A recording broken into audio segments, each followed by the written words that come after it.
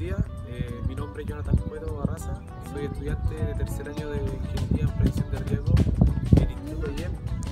Y hoy le hago comienzo a mi blog, el cual tratará de exposición a ruido ocupacional. Y eh, acá en la empresa de Heredia Molino mostraré las tareas que se realizan y que los trabajadores estén expuestos al ruido.